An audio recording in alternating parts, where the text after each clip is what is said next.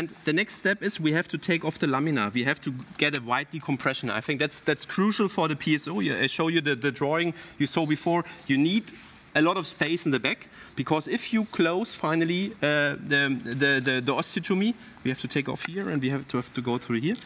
And if you finally close the osteotomy, the nerve roots, they need space. Oh, yeah, nerve you bring, root. you bring two nerve roots together in one neuroforamen, just- and that's the crucial point. That's, that's, that's always, we have to, if you talk about complications, so the neural complications might occur. Yeah, absolutely. So do you do neuromotor? Oh, of course, Huh? that's, that was my question. Just let I me try to ask moderate, okay? so, uh, Matti, do you use neuromotor? So you have to, So, you have to, yeah. you have to. It's So- absolutely necessary just to have neuro neuromonitoring. I would really? no, I'm not agree. Yeah, okay, come on. Come on. I, I, would, guys? I would not agree. I would agree if you would do the PSO in the area where you have, where you have this, the, the, the myelin, the central cord. Yeah, I would. I would do it.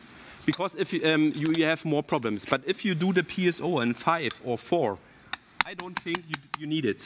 Okay, what, what kind of rate do you think? If you said, okay, absolute um, um, neuromonitoring is not necessary at this at this point, like uh, putting in a five or even L4 osteotomy, um, how how how do you how much how do you think that the compli- complication rate is is, is, is, is like?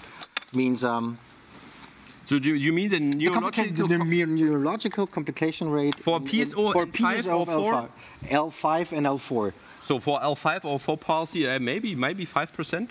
I don't know. I don't I don't have the numbers in my in my in my mind. Yeah. So just now we we try to take off the lamina. Yeah? You can do this you in can, different you can ways. do this in different ways. You can use the, the high-speed burr. Yeah? You can use the, the orthopedic technique with the chisels. With the chisels is always a little bit. Uh, some neurosurgeons would, would hate us uh, therefore because um, we are quite rough to the to the structures. But if you know where to put the chisel, it's an easy way, yeah? and that's the fast way. Um, the guys in Aachen do the laminectomy, uh, the, the laminectomy in some seconds. And just now we take care. See the dural sac now. So there are a lot of Look, ways just yeah, to, you to- see just the to get good, Yeah. just to come flavum. to the point where we want to stay. But Okay. um, if you take a chisel or even a high, Then you- high Yeah. hydro burr, now we have to be a little bit carefully. Sometimes you can have a gluing. We saw a small scar, so we don't Well, know if well, the patient okay, had a okay. had a previous surgery uh, in the in the spinal channel.